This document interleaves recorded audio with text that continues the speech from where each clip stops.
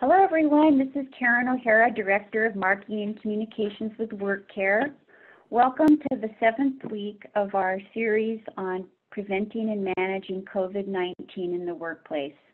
We really appreciate your continued participation and to anyone who's joining us for the first time, we welcome you. This session is being recorded and will be available in about 24 hours on our YouTube channel. During the session, Alexis will post the address for that channel. All of the questions and answers are summarized at the conclusion of the presentation and they will be posted on our website along with all the previous weeks and you can find that at www.workcare.com. Please submit your questions during the session using the Q&A function on Zoom. Our speaker today is Dr. Anthony Harris, who's a board-certified occupational medicine physician. He's WorkCare's Vice President for On-Site Clinical Operations and an Associate Medical Director. As our lead clinician for our COVID-19 response, we really appreciate him taking time out of his busy schedule to offer these weekly updates, which we found have been very useful and informative internally and we hope for all of our clients. So now I'll turn it over to him. Thank you. Excellent. Thank you, Karen. And thanks everyone for joining us again. It's my pleasure to talk today about something that everyone has been asking about. Uh, and obviously it's COVID related, but we're going to spend some time uh, nerding out on uh, the strategy uh, to bringing the workforce back safely here. Uh, so we're gonna get, you know, the typical updates. If you're new to uh, for, for us uh, joining us today, we are going to talk briefly on the clinical update, the microbiology, epidemiology, uh, and some prevention. But we're going to spend a lot of our time really drilling down into uh, what are we to do uh, in terms of the workforce coming back as the White House has laid out their plan for phase one, two, and three, opening the economy, right? Uh, and so we're going to be very pragmatic, um, very specific to this strategy, uh, and we're going to be as bold as to even be prescriptive as to what you should do uh, based upon our clinical expertise and experience uh, with uh, not just obviously pandemics uh, with SARS in 2003 and, and MERS, but also with what we're dealing with today and the technology that we have at hand to leverage. So without further ado, uh, we'll get into some of the clinical update here. And there's not much, right? There hasn't been a whole lot of new symptoms that uh, uh, have been described in clinical literature. CDC has updated some of their symptoms to include the shakes with the chills, and they are including now um, the uh, loss of sense of taste and touch excuse me, lost a sense of taste and smell. Um, uh, but if you've been joining us, you know that we started reporting those symptoms uh, almost a month ago, I would say. Um, so uh, no, nothing uh, terribly new. Uh, COVID toes were presented last week. Um, when we talk about, though, uh, the update on microbiology, we're going to spend a little time here just making sure that everybody is on the same page, and this is very important about uh, testing and when the tests are appropriate at what phase of the illness, okay, COVID-19 illness. Uh, and so when we talk about, uh, and we've presented this uh, graphic before, and we talked about the different phases of illness, um, but specifically for testing, uh, it's appropriate to test early uh, in illness with regard to looking for particles of the virus, okay? That's the antigen test, all right? That's the, the swab classically in the uh, nares or in the nasal pharynx. Some of the tests can, can, be done with oral pharynx swabs.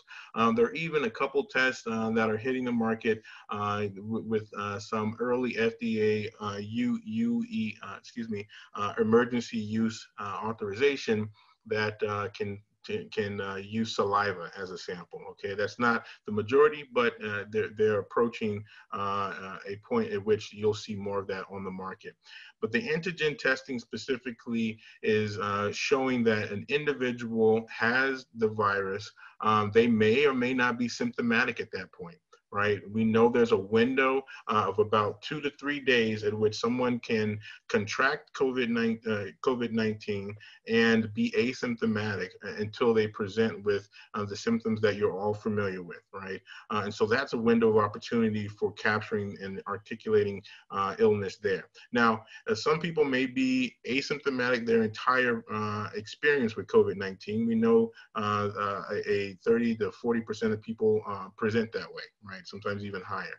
So we can capture those individuals with antigen testing. Uh, the antigen testing along with antibody testing becomes more relevant in the second phase of infection once your body starts to form an immune response to the, to the virus, meaning seven days into the illness, IG, IgM shows up first, uh, immunoglobulin M shows up first, and we can detect that. And what that means is that, uh, yes, you have active disease, you have the ability to transmit the disease, but your body is responding appropriately. And we can see that appropriate response with IgM at first and then followed by IgG. Now, when we talk about recovery, when we talk about late disease, um, we can see immunity to uh, vis-a-vis IgM and IgG. Uh, if it's really late in the uh, recovery phase, uh, then IgM goes away and usually only IgG is present, okay? So now we can see a historic picture of disease with uh, antibody testing whereas uh, antigen testing will be negative once you've recovered from the illness. And so, okay, hold these concepts and, this uh, testing uh, paradigm in your in your mind because we're going to talk about this later as it pertains to the testing strategy that we're recommending for return to work uh, with the general population. So when we talk about updates for testing, again, uh, FDA continues to uh, authorize more serological tests under the emergency use authorization. Everyone has access to it through the internet. We can share those links with you later. Um, but the number of tests that are under this approval have increased to now 50. Uh, two weeks ago, we were down around 32 to 36. Now we're up to 50. That's a good sign, obviously, in terms of increasing the utilization of testing in regards to opportunity for us to test the workforce. We're, we're, we're making progress, right? Can we test the entire workforce tomorrow? No, right? Um, um, but we'll talk more about what the testing picture looks like updated to this week. We present on those numbers week to week. Uh, I'm not going to spend a lot of time on this slide. We've presented it now twice. I'm hopeful that everyone is up to speed with what the rapid PCR test looking for antigen means if it's positive, what IgM and IgG mean if they're positive. Uh, you can refer back to this to get uh, caught up. Uh, and, and again, uh, these are the three different tests that we are recommending for testing in a return to work scenario. Uh, and we'll talk about how to deploy this from a practical standpoint uh, in a bit. What I do want to spend some time on right now, though, is what uh, presents as sometimes confusing uh, uh, language around the reliability of testing okay? Uh, you'll hear the terminology sensitivity and specificity. Sensitivity is, um, we want high sensitivity and we want high specificity for a very reliable test. So what does that mean? A highly sensitive test means that if I have the disease, how likely am I to detect it with the test that's being offered, right? So if you have COVID-19 and you have a negative test, right, quote unquote, failed the test, right, in this in this articulation, uh, uh, this illustration, um, what's the likelihood that I actually don't have the test, uh, have the disease? And so we know that if we do real-time PCR, the negative, the false negative rate is 30%. And that hasn't changed very much in terms of real-time PCR. That's the swab to the nose looking for antigen okay? Uh, low sensitivity means that number goes higher. So sensitivity for a real-time PCR is not phenomenal, right? 30% is, is, is not great. Uh, we take the test twice, it goes down to 9%, three times goes down to 3% false negative rate, right? When we look at specificity, we're looking at um, uh, specifically if a test comes back positive, quote unquote, pass the test in this illustration, what's the likelihood that I actually have the disease we're looking for and not some other disease, right? Uh, some other illness. So in this case, if I have a positive COVID test, what's the likelihood that it's actually detecting COVID versus something else. This number has generally been higher for the test available, particularly for um, the test that we're deploying at WorkCare. Uh, we're looking at a sensitivity of about 86% and a specificity of 100%, right? Um, so we, when we articulate um, the reliability uh, and describe it about testing, this is what we mean okay? Uh, and so as we get into the epidemiology, we're gonna have a, a very uh, intentional myopic view, uh, looking more at the United States versus other countries at this point for this presentation today. So let's look at total confirmed cases in the US. Um, you know, this was last week. Where are we this week? Uh, we're approaching a million, right? If you look at some data, uh, ex-US data on uh, prevalence here in the US, we're at 1.01 million cases. Uh, CDC has a slightly lower number than that, 950,000 or so. Um, but if we look at uh, daily confirmed cases um, per million, right, uh, we know this number, we report on this number week to week. Uh, that number is high for the US, uh, on par with Italy and Spain. Uh, specifically though, daily, num daily confirmed deaths now uh, is is about uh, in, with this logarithmic or excuse me with this linear curve uh, right around uh, six right six per million uh, over six about seven so approaching seven per million people in the U.S. Okay, CDC uh, has updated some of their maps, and we can see now um, the deepening of the incidence of disease across the U.S. Right, and if we look at uh, CDC maps. I, I do recommend, if you haven't done yet, you can go look up your state and go look up your county in terms of cases uh, by county, right? And, and we can do this now uh, as we uh, talk about the paradigm of testing uh, to, to look at geographic risk.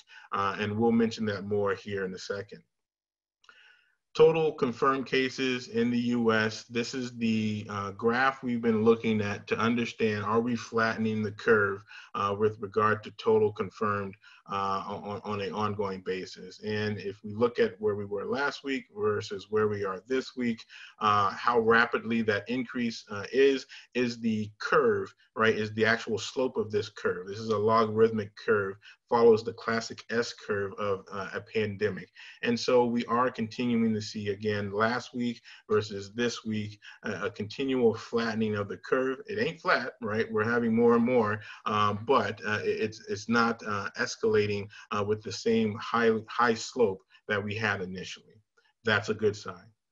When we talk about total uh, tests that uh, is being conducted uh, in the US compared to ex-US. We've been number one for several weeks. We continue to be, we're over 4 million tests total conducted in the US. When we look at that number from last week to this week, we're now over 5 million. And if we look at then total tests per thousand uh, individuals in the US, uh, again, last week we were, or two weeks ago rather, uh, we were number three. Last week we jumped up to number two behind Italy, and we're still number two uh, currently. We're just catching up a little bit more. So again, all positive indications that the availability of testing is increasing, uh, and we will have uh, several scenarios in which to entertain return to work with regard to testing um, with, with, with increasing availability. So let's get into uh, some of the prevention uh, concepts here. I wanted to present this uh, again in terms of the paradigm that we have as clinicians uh, regarding return to work. We have to consider exposure. We have to consider level of disease in terms of onset, duration, and severity.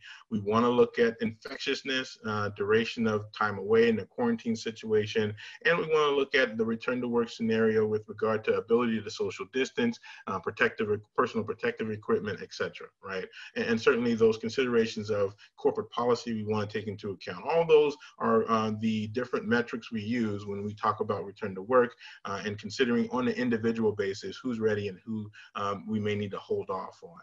Uh, if we look at and review briefly here, the White House uh, or the, the, the White House administration's um, uh, push for opening the economy again. Uh, again, they're recommending social distancing, the temperature checks, uh, but they're also talking about monitoring the workforce. We presented it last week. I wanted to reiterate this because again, this is germane to our uh, strategy on return to work and testing in, in that piece of what we're offering. so developing and implementing policies policies and procedures, uh, again, for contact tracing is important. We won't touch on that very much today. Uh, we will be speaking uh, perhaps more to that next week. But if we look at phase one, again, uh, encouraging telework is still the prominent uh, feature of this phase, right? Return to work uh, of workers in, in, in, different waves, so to speak. They say phases here, but different waves is what we presented last week. Cleaning the common area, closing the common areas, uh, holding still tight to non-essential travel, and then uh, recommendations for accommodations with, with uh, those who have underlying condition is what's described by the administration. Uh, when we talk about what uh, phase two looks like again, it's still encouraging telework, um, but it's now opening, uh, uh still and still closing the common areas, but it's now allowing you to do um, more in regards to not monitoring. Uh, again, it's confusing a little bit in terms of what the CDC recommends versus what the White House is recommending in different phases. We're going to tell you what uh, aligns with our recommendations uh, in terms of what you should be doing to be uh, not just conservative, but to be in the best practice of protecting your workers. Phase three from the White House is, hey, uh, this is unrestricted staffing, uh, and we know there will be a new normal after uh, all is said and done. And we'll talk about what that looks like. So going back to phase one, this is where we're going to focus the rest of our time, right? This is the here and now. We're in phase one of reopening the economy. It's already happening in various states, various municipalities. So what are we to do uh, with these declarations of re-entering the workforce, right? Uh, again, uh, this is what CDC uh, is recommending with regard to uh, the reopening uh, and contact uh, limiting contact with social distancing, obviously strongly recommended still. Uh, when we talk about um, uh, screening, uh, the pre-screen is still recommended. Regular regular monitoring is recommended. Pre-screening is the piece that uh, looks at temperature, right? And most uh, um, uh, places are doing now some type of temperature monitoring, whether it's self-reported or uh, having boots on the ground to enter the facilities with infrared thermography. And then the regular monitoring is recommended um, for those symptoms beyond just temperature monitoring, right? the the health, the occupational health program component of it. Uh, wearing the PPE is also recommended, obviously, along with the other components we mentioned earlier with social distancing. Uh, but these things should be, uh, uh from our uh, understanding of best practice currently, should be mandated, right, by the employer. Uh, and you have the ban, you have the support from EEOC and ADA to do that mandate, right? And so we know certain municipalities are actually requiring this by law uh, in, in parts of Ohio and Delaware uh, and Pennsylvania, obviously, uh, Detroit area. So again, we presented this last week here um, in, in terms of the first wave uh, of uh, uh, workers to re-enter the workplace. And so these waves, um, we added one uh, uh, characteristic to it, and that's geographic location, right? Uh, we talked about the um, first wave characteristics, except for the geographic location last week. And if there's low incidence and uh, low incidence of sustained widespread disease, uh, we recommend considering that uh, for the first wave of individuals, and certainly that's a risk-based approach. So when we talk about the daily screen and what that looks like, when we talk about the risk stratification and what that looks like, uh, we know that these are two components that will exist um, uh, moving forward here. Apologies for the background. We're going to uh, call an audible here uh, real quick, and we're going to dim, uh, we're going to show this without the background. Beautiful. All right, so um, the daily screen and risk stratification will be part of the new normal, right? Um, and, and, that's for the foreseeable future until we have a vaccine. And that's well into 2021, uh, most are saying, right, in, in the clinical community. So this is the first step to your program for return to work. Without this in place, it becomes difficult to um, orchestrate the remainder of what we're going to suggest here in the program that we're rolling out with employers um, because you, you're, going to miss an opportunity to capture workers uh, with, with this approach for symptom symptomatology as well as uh, um, those things that present without a, temp, uh, uh, without a fever right? And so if we look at the daily screen, we're monitoring for symptoms outside of fever. Risk stratification is necessary um, because we need to understand not just who needs to stay home, right, but for how long, right? It doesn't necessarily mean you're stuck for 14 days. We have to stratify your risk for COVID and for other uh, uh, uh infectious illness. And so th these are all components that uh, should be done in conjunction with your local occupational health provider that, so that's the first step, right? Putting into place, and we mentioned it last week briefly, putting into place a solid um, defense, which is a strong offense, right? Uh, the second feature is then having a um, full uh, kind of end-to-end management perspective of the return to work uh, process, right? And so it looks at uh, baseline testing, COVID-19 risk appraisal, scheduled testing, and then finally COVID surveillance. And we're going to get into each of these so we can uh, help you understand what we're, what we're referring to with each of these levels. The first level then being baseline testing. Okay, uh, baseline testing. Let me see if I can go back in presentation mode here. Beautiful. So baseline testing is important um, to uh, understand three things, right, of the population. And again, we're suggesting that uh, at, with availability of testing for those uh, hotspots, Let's test 100% of the population and get a baseline. Why? Because we have to understand who has active disease and needs to be self-quarantined. That's pretty straightforward. We need to know who has past exposure to disease and have a low likelihood of contracting or transmitting, transmitting the illness, right? Those people, again, are kind of in that free and clear phase of not having to undergo uh, routine monitoring or surveillance because the likelihood of them actually contracting, uh, again, COVID, uh, COVID-2 is low. Those people who are naive to the illness, though, never had the disease, they are still vulnerable, can contract and transmit. Those are the individuals with, in which we need to have a solid program in place to help monitor and uh, keep them at home when they're ill, keep them at work when they're healthy. And so that's the first step. The second step of this comprehensive program is doing a, uh, risk appraisal. So after your baseline test, you can understand uh, those individuals in each of those buckets we mentioned. And then we're going to further stratify those naive uh, people, those persons naive to the illness and we're going to place them into high, medium, and low risk based on demographics and behavior.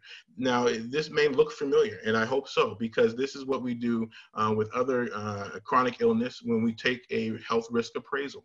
Right, we've taken a similar approach in understanding uh, uh individuals for COVID-19 specifically. What is your risk of actually contracting in the community, uh, in particular? And we can then uh, articulate risk so that uh, your workforce that's returning won't have the same uh, won't necessarily have the same process for monitoring and testing uh, based uh, based upon geographics and behavior. What, uh, so let's talk about the uh, aspect of what that looks like, right? So scheduled testing uh, would be something that uh, is recommended uh, for those individuals that are naive to, uh, again, the virus, and we need to recommend at what frequency, right? We're, the last thing we want to do in the clinical community is to suggest that everyone get tested all the time, right? That'd be pointless. There's no clinical significance to that piece of it, right? Um, what we want to do in terms of window of opportunity of detection with testing specifically, again, is to test those, is to capture those individuals that are one, asymptomatic,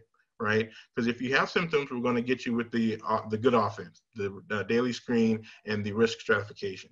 If you're asymptomatic, though, whether you're asymptomatic because you just are going to be asymptomatic in that population who never present with symptoms and still can trans, uh, uh, uh transmit the illness, or if it's that window of opportunity we mentioned earlier where you have you, you have the illness but you and you can transmit but you don't necessarily have symptoms yet those those two uh, use cases are the windows of opportunity for us to capture uh, individuals and have them appropriately self-quarantined uh, from the workplace because we have to be ready for that inevitability when we when the fall hits or when kids go back to school of you know being asymptomatic the younger population uh, in in the schools uh, transmitting covid potentially and then bringing that home to mom and dad right? And mom and dad showing up to work, uh, there's a window of opportunity to test and capture those individuals. Now, again, that's not an every day or an every week or even a bi-week scheduling. Um, that is specific, though, for an individual where they live and, and, and behavior component to it, right? If I'm uh, routinely in uh, a social setting where I'm around a lot of people, right, um, then my risk is by default higher if I'm in a geographic that has widespread sustained illness, right, and, or transmission rather. So those are the things we're going to articulate in this program and then move forward with so that we're not, uh, so that we have order to the testing. And again, I told you, we're going to be bold in this uh, uh, um, game plan here. And we know that uh, th this is beyond what uh, is recommended currently by CDC and OSHA and, and other uh, governing bodies because for the most part, they've been kind of silent on these matters, right? Uh, they've not given us much guidance as to what is the practical next step to do in the workplace to bring my workers back safely. Uh, and then finally, uh, in this paradigm, it's the surveillance program. Uh, the daily screen, the thermography, the scheduled testing play a role in what we're calling now the COVID surveillance program. And it's similar to, again, a program that you would have in place uh, for respiratory surveillance, for hearing conservation, et cetera, right? Um, these, the difference being, right, COVID not, is not necessarily a workplace exposure. OSHA has said, no, this is community-based, uh, and right now we're not considering workplace exposures under this COVID uh, epidemic or pandemic. Um, but yet and still the requirements from uh, regulatory bodies are being placed, even municipalities are placing that requirement on employers to keep the workplace safe under general duty clause, right? So again, what we're proposing is a process by, by which you can execute the demands that are being placed on you. And we're partnering with you to help you pull that off uh, in, in, as much as a plug and play fashion as we can. So again, uh, to recap, baseline testing, risk appraisal, schedule testing for those only who should be in that bucket and the naive uh, uh, individuals. Uh, and then finally, this is a part of a, a comprehensive COVID uh, surveillance program. So number three is how do you do it practically, right? We know the availability of tests aren't ubiquitous. We just went through that, right? In terms of total tests per thousand population. Uh, and so we need to have a process by which we can actually effectuate this plan tomorrow. And what does that look like? It's geographic based. So in the same way we look at the burden of disease, this is the burden of disease as of yesterday in the US. We identify these locations and how they overlap with the operations that you have in, di in different locations. And then that's where we focus our efforts for the high, medium, and low need in terms of uh, temporal rollout of this type of process, this type of program right? And so we focus resources on where resources are going to give you the best return on investment, not just on, you know, obviously on a business operation standpoint, but on impact to prevention with the worker population that you have. And so that's the approach that we're taking. That's what we can pull off with the data that we capture through step one and step two, that daily screen and risk stratification. And then finally, again, uh, getting into the uh, en masse return to work is going to be straightforward because now we have the data to show uh, from the risks that we've from the data and the risk that we've captured. And then the fourth uh, piece of this puzzle, right, is the availability of testing. And we know that the availability is going to increase. And we know that the uh, specificity and sensitivity, the accuracy of these tests are going to still be across the board. And so we want you to not have to worry about the accuracy of these tests because that's our job as clinicians, right? So we take on the task of um, building into the program those tests that we've already vetted and we've already said this is a test that's reliable as the tests are available on the market. And to, to and the distinction is clinical determination, right? If the test won't help us diagnostically make a clinical decision, then we're not going to recommend it. And again, uh, the whole goal is to uh, be able to offer as soon as possible the capabilities at different levels at different geographics. That looks like, uh, in practicality, the, the, the program that we put together uh, in California will look like the program we put together for you in, in Florida or you know in Georgia, but the tests may be different due to uh, availability. Uh, nonetheless, those tests will have been vetted and we can rely on the results uh, from a clinical decision-making process. And so with that, I know we captured a lot as we normally do week to week. I wanna hit the pause button. We wanna open it up to questions. So let's get into it. Thank you. Okay, let's take a deep breath and we'll go into our questions. Um, let's start with this one. I think it will help clarify some of the things you covered really quickly about the process, the steps of the process.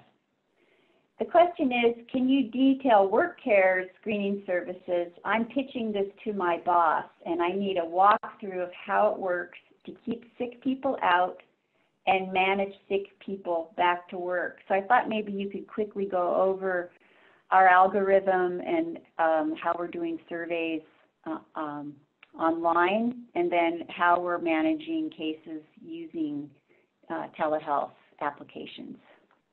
Absolutely. I don't have a workflow of it here, um, but it's rooted in um, what we're doing with Daily Screen, right? So we're screening 100% of the workforce, whether you're home or at work. We're capturing who's ill and who's not, who needs to come to work and who doesn't. Um, if you're at home, we're then triaging and diagnosing and, uh, getting those individuals tested appropriately uh, in the risk stratification piece. And then we're doing the return to work uh, uh evaluation based upon the data that we've already captured. Um, so uh, in, in, short, those are the three uh, steps that we've instituted. We've been doing that for the better part of a month now, I would say. Um, and it's working well to, again, make it a seamless process for the employee. certainly there are more details to the and nuances to uh, each uh, instance of the uh, experience with the employer and what we de deploy, but we're happy to share that with you in, in the follow-up. So whoever asked that question, please reach out to us. We can push information your way so that we can help out. And there seems to be quite a few questions about temperature screening regarding what it actually constitutes a fever, what what degree of temperature should you be looking for? And um, one person's asking about forehead strip thermometers and whether they're appropriate for to use for this purpose. Sure, we've stuck with the um, uh, CDC recommendation for what constitutes a fever of 100.4. Um, why? Because uh, so far that has been um, a, a, delineation of, uh, again, clinically what should happen next. 100.4, should you stay home? We say yes, right? Uh, if you alter that and say, okay, it needs to be 90, 99 this or, you know, uh, even lower, then it, it, becomes more difficult in terms of actually capturing a clinical determination of illness, right? You may have an elevated, we, we know that 99.6 uh, is within normal range for, for many, right? And so do you keep everybody home that hits that range? No, uh, it becomes more of a uh, um, uh, convoluted clinical determination if you have a lower um, a number for an absolute cutoff of fever. 100.4 makes it clear. You have 100.4 or higher, you stay home. Uh, so that's that that's uh, how we've moved forward. Uh, and then in terms of testing of temperature, um, the forehead strips, whether you're using IR thermography or uh, infrared videography, um, the, there are uh, best practices in place. Um, we know that skin temperature variability is significant. It's affected by environment. We know, uh, and we have reviewed studies that looked at uh, if you're going to measure temperature looking at the face, either with the IR thermography or otherwise, what is the best area of the face to look at? And we know it's actually not the forehead. Um, it's a side-based, uh, a, side view of the face, and it's an average of the face um, that have the highest correlation to core temperature. So again, we can share those uh, um, learned uh, with you uh, after this uh, for sure, and then um, talk about strategy if you are deploying uh, different types of thermography, whether self-reported or otherwise. Okay, as usual, we're getting a lot more questions all of a sudden. Uh, are you suggesting that employers institute testing on their own, or should it be done by their medical provider or public health officials?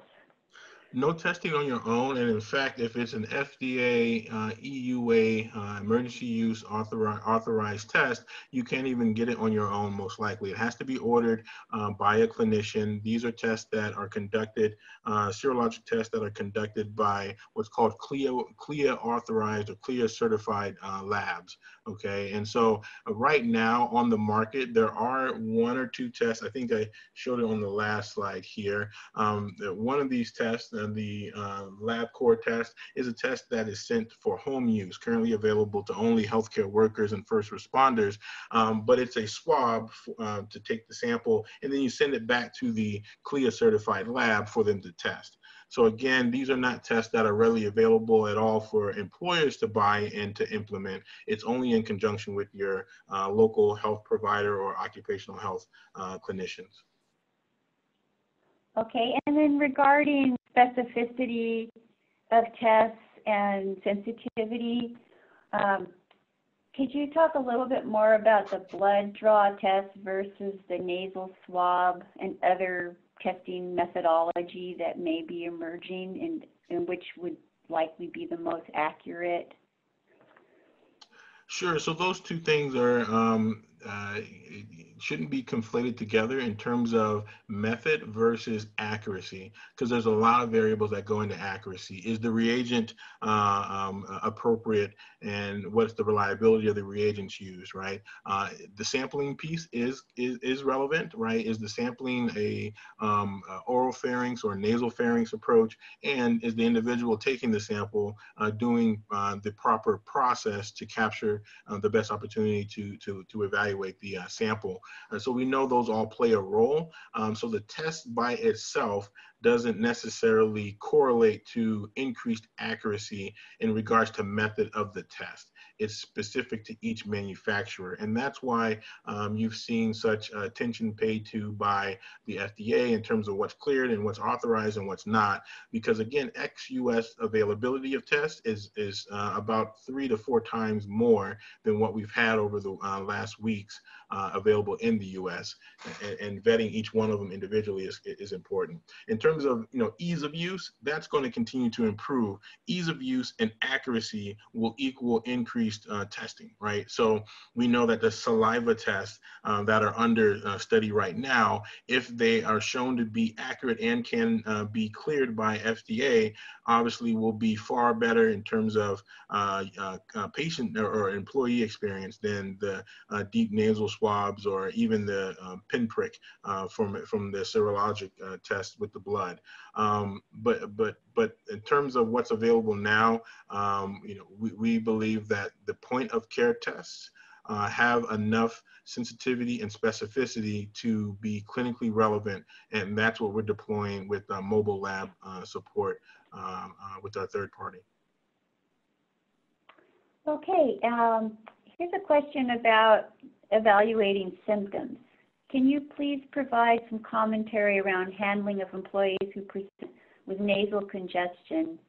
The WHO has indicated that this is potentially a symptom of the virus, but it's also a symptom of seasonal allergies. Indeed, um, WHO has indicated that, and again, it's um, no departure in that scenario from best practice with regard to hand hygiene, cough hygiene, etc. So everyone should be practicing those universal precautions, so to speak, um, so that uh, we're helping prevent the spread. Everyone should be wearing a cloth mask. So if you're congested and you don't have a cloth mask on, one, uh, shame on you, and two, um, you know, you're not still uh, practicing best practice for the entire population, meaning if you are not in a home setting or you know you're out and about, you should be wearing a mask. We know that employers are requiring a cloth mask or equivalent in the workplace, and we stand behind that um, because that's what's going to get us through uh, this this period of minimizing the transmission of the, the illness.